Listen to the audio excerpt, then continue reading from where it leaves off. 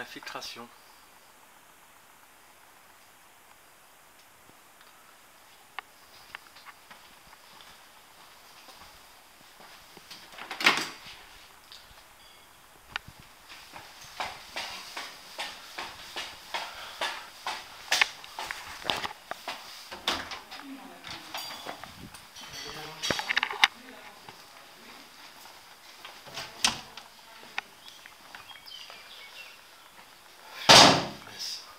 Fuite détectée au niveau des joints d'étanchéité.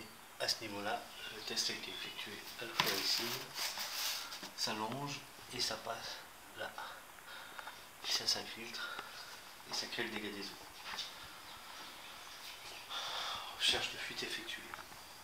Tout a été vérifié, réseau, alimentation, évacuation, pas de fuite.